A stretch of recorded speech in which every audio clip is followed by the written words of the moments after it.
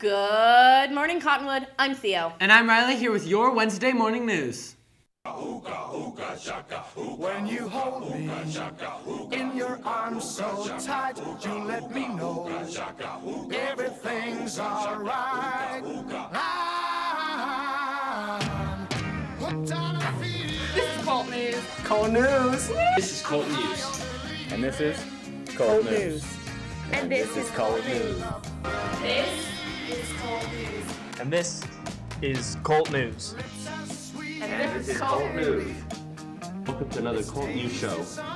This is Colt News. And welcome to Colt News. Hello there. Got Colt News. for another cup of wine. Got a bug from you, girl. Annual career fair is today from 10:15 a.m. to 11:10 a.m. in the Commons area. This is a must-see activity. Over 40 representatives from all kinds of companies and industries are coming to see you. Get your questions answered about what they do and find out if their kind of work is for you. It's talent show season. The annual Cottonwood High School Talent Show is Friday, April 28th. The talent show is the best show of the year. We're looking for anyone with a cool, unique, impressive, or engaging talent that they want to share with the school. We don't care how wacky or weird. Come show us what you've got. Auditions are after school, starting Monday, April 17th through Thursday, April 20th. AIM students may audition as long as their performance also includes a Cottonwood High student. Sign-ups for auditions are opening now in the Counseling Center.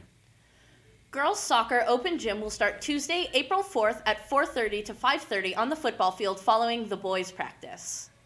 Ramadan Mubarak and also Ramadan Kareem to all of our Colts honoring Ramadan starting today.